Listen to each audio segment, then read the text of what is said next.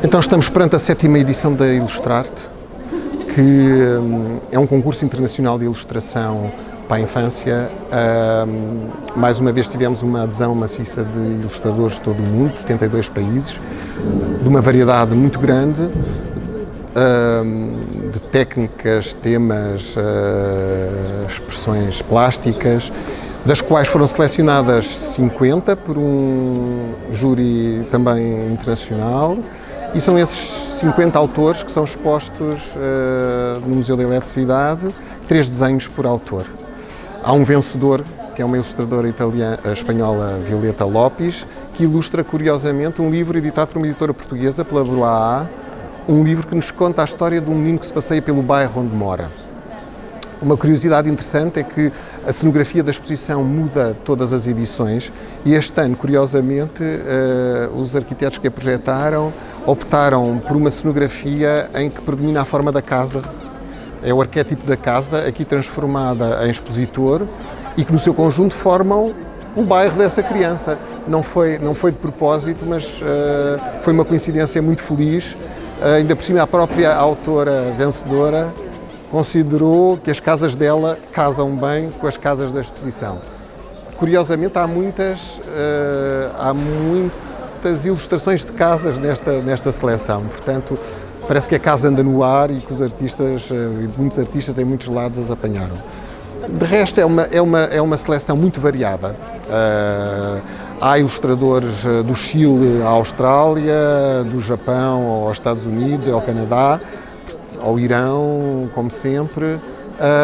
Uma exposição de facto muito variada e, e salientava finalmente que há quatro portugueses selecionados, o que é sempre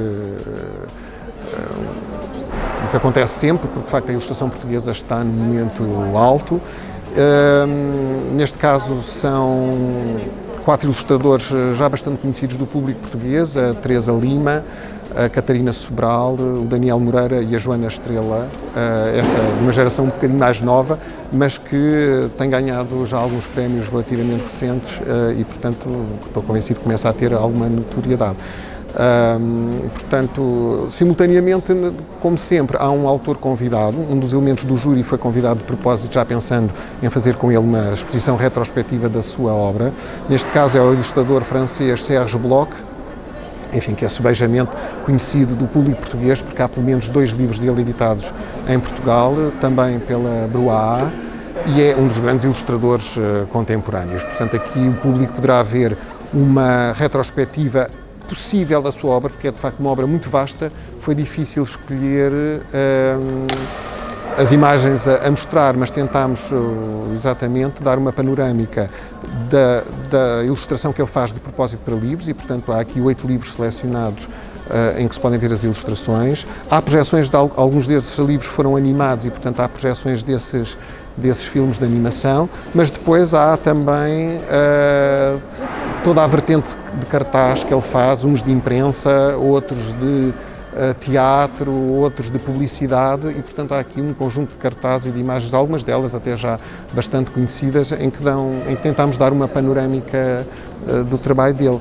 Ele finalmente prestou-se a fazer algumas obras in loco e daí a presença de duas grandes esculturas em cubos, são esculturas animadas porque ao mexer os cubos uh, o rosto troca com o, com o corpo e troca com, com as pernas e, portanto, são duas, duas esculturas originais que ele fez de propósito no Museu da Eletricidade para a exposição.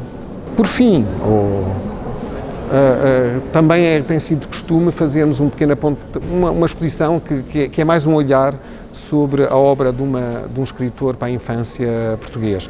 Neste este ano tivemos o prazer de convidar a Alice Vieira, que é, obviamente dispensa qualquer apresentação. É apenas um olhar, como eu disse, não é, não é, uma, não é uma exposição especialista sobre a obra dela e consiste essencialmente na exposição de todos os livros, todos os títulos dela vão estar disponíveis para que o público possa manuseá-los e contactar com, com a obra da Alice.